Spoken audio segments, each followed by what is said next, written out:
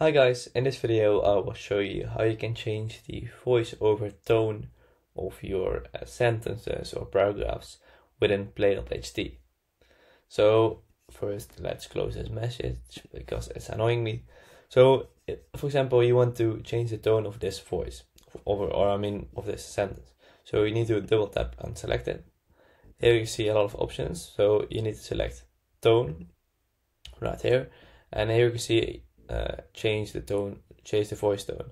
So you can change the volume, so you can make it a bit softer, or and you can make the the rate a bit slower, faster, or the pitch. So let's make this, for example, a bit lower, I can preview it. If you read this, please subscribe to the channel. If you think she uh, talks too fast, you can make it slower. If you read this, please subscribe to the channel. Or let's keep it medium. Volume, let's make it loud. Pitch, preview. If you read this, please subscribe to the channel. Or you can make this high. If you read this, please subscribe to the channel. So if you want this, for example, you can tap on apply. And as you can see, it's orange right now. You can see the settings right there. And you can preview it. If you read this, please subscribe to the channel.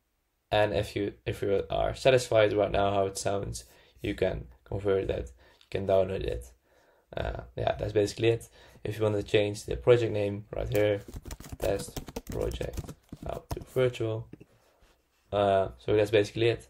If you do not have a Play.ht account yet, I recommend you creating one because it is a really great tool.